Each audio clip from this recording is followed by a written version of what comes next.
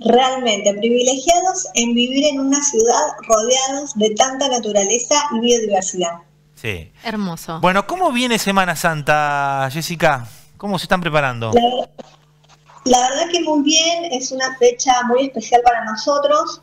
Por ahí, para los que no saben, eh, Puerto Deseado tiene solamente a 15 kilómetros de distancia el santuario de la Gruta de Lourdes, que es un santuario en un cañadón, en un lugar eh, totalmente natural, con paredones rocosos de más de 20 metros de altura. Ahí se encuentra una cascada natural y la, imagen obviamente de la Virgen de Lourdes y de Santa Bernardita, donde se realizan peregrinaciones anuales con feligreses no solamente de la localidad, sino de toda la, región.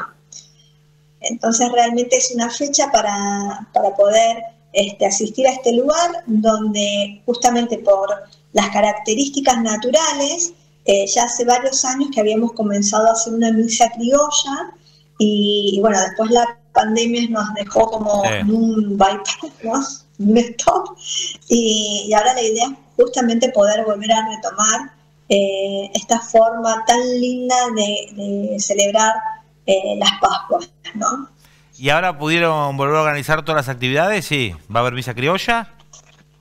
Sí, sí, estamos organizando la, misa criolla, bueno, la peregrinación al santuario y, desde el área de, turismo, como también siempre hacemos para estas fechas, hagamos eh, diferentes guiadas por la ciudad que, tienen eh, relación a, las diferentes eh, vírgenes que se encuentran en el ejido urbano y cerca a la ciudad, para después obviamente terminar a las 15 horas el día domingo que, que dé comienzo a la misa criolla. Jessica, te hago una consulta. Eh, viste que el turismo religioso tiene como característica eh, que la gente vuelve, que es como un turista eh, que siempre vuelve y siempre hace como los mismos recorridos. Va incorporando otros destinos, pero son los mismos recorridos.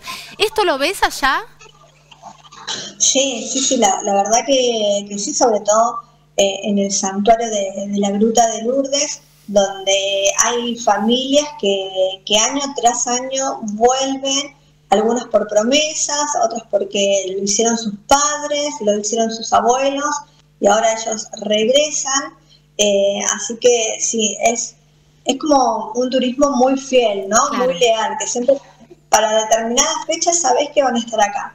Bueno, el domingo vamos a tener esto, el ahí para, hacer las excursiones también está todavía, ¿no? ¿Tenemos algún pingüino dando vuelta por ahí, sí? Sí, sí, sí, tal cual. De hecho, eh, dos de las, de las tres empresas de excursiones náuticas se van a seguir trabajando hasta Semana Santa, porque es la fecha donde ya termina nuestra temporada. Eh, los pingüinos eh, de, de, penacho amarillo, por ejemplo, que están en, el Parque Interjurisdiccional Marino Isla Pingüino, están todavía con su cambio de plumas, así que todavía se los puede ver en, la isla porque todavía no, no emigraron, así que eh, las excursiones son una alternativa más a la amplia oferta de atractivos y mm, de excursiones y salidas que se pueden hacer en Puerto Deseado. Bueno, yo tengo casi todo armado, gracias a una, una amiga que tenemos en común, Jessica, que es Raquel. Tengo casi todo armado para irme en Semana Santa ya deseado, ¿eh? que lo vengo prometiendo hace como seis meses. Eh, pero quería hablar con la gente de Darwin que me habían vendido lo de la isla. Sí, estamos para ir a la isla. Estamos, estamos. y la verdad que, que, la isla no te vas a arrepentir. Nosotros decimos que es la Galápagos sudamericana porque realmente la cantidad de fauna que uno ve en su estado natural es como que no lo podés creer. ¿no? No, puede ser que todavía existen estos lugares y acá al alcance de la mano y tan cerquita de, una ciudad. Que realmente es así. Jessica, ¿a dónde lo, dónde le recomendamos a Fede para ir a comer? ¿Tienen turismo gastronómico? ¿Algún plato específico eh, que los identifique?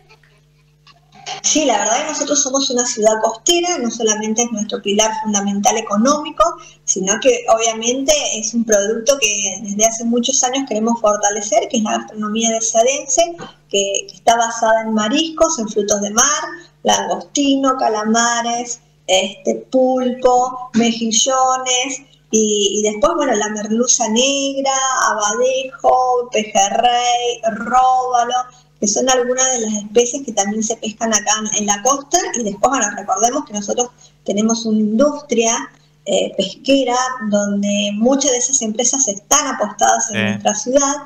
Y, de hecho una de ellas es donde se realizan las famosas barritas de surimi, que son esas barritas, eh, no sé si puedo decir la marca, pero son que tienen esencia de, de centolla, que son muy ricas, que se las puede hacer en una variedad increíble de comidas, frías, calientes, como copas de entrada, como tartas. Las que empieza con K, decís vos. Claro. Esa misma. Y terminan con cama. Claro. claro. Sí, eh, me gustan, pero todo lo anterior me gusta más, ¿no? Merluza negra, mejillones, pulpo. Ya tengo más o menos ordenado para comer jueves, viernes, aparte Semana Santa, hasta el domingo como eso. Y el domingo cerramos con un cordero ahí en Puerto Deseado. Con un cordero patagónico al asador, chicos. ¿Qué mejor que eso? No, Es un planazo, es un planazo. ¿Cómo está el clima? ¿Cómo lo ves de acá? ¿Qué, qué ropa tengo que llevar? Mira, hoy tenemos una temperatura ideal de 19 grados con muy poco viento, que el viento es un amigo infaltable en Patagonia, ¿no? Eso hay que hacerse a la idea, viento siempre hay. Claro. Y, nosotros siempre lo que recomendamos es, aparte de ropa cómoda y calzado cómodo, porque deseado te invita a que lo recorras en sus cañadones con trekking, con cicloturismo, con senderismo, con actividades que tienen que ver con la contemplación, así que el calzado cómodo es fundamental. Y después siempre lo que decimos nosotros es vestirse como cebolla, ¿no? En capas, siempre abrigado, y a medida que vos vas transitando, vas recorriendo y te va dando calor, te puedes ir sacando estas capas de ropa que te permiten estar cómodos y con la temperatura adecuada. Bien, ¿con cuántas plazas hoteleras cuentan o plazas turísticas en general hay en Deseado? Bien, nuestras plazas hoteleras son hoy en la actualidad pocas, alrededor de 300, ah. pero tenemos variedad en cabañas, aparotel, hoteles residenciales, camping y dormis, así que es bastante amplia la oferta, a pesar de que son pocas las plazas eh, hoteleras.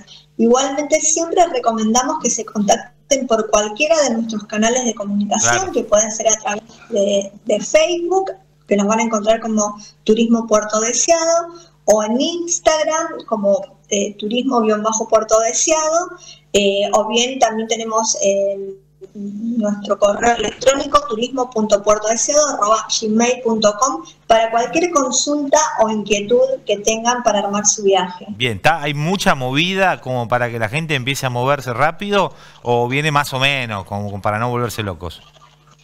Yo siempre acá desde la oficina recomendamos que puedan hacer las reservas con tiempo porque el, el turismo regional eh, turismo religioso, que es lo que hablábamos al principio, siempre viene en estas fechas. Entonces, mucho mejor este, estar preparado, ya tener la reserva del hotel y saber que, vas a tener un lugar donde, donde disponer para dormir. Bueno, bueno, Jessica, nos vamos a estar viendo pronto, ¿no? Un par de semanas. Así es, nos esperamos por acá. Sí, señora, sí, aparte me vienen invitándose desde que empezamos. Así que llega el momento de Deseado, un lugar fantástico, increíble. No conocer Deseado. No. Un lugar impresionante para poder disfrutar y para que te quede grabado todo para toda la vida. De, de, hecho, yo fui hace un montón de años y me quedó todo tan grabado que está muy bueno volver después de mucho tiempo. Así que para disfrutarlo y para invitar a toda la gente que lo disfrute esta Semana Santa especial en Puerto Deseado. Jessica, gracias, nos reencontramos en cualquier momento. A ustedes, Fede, Caro, los esperamos por acá. Muchas gracias. Muchas gracias. Qué atardeceres hermosos. No, todo, todo, todo de 10 La ina de los pingüinos de, de Penacho Amarillo es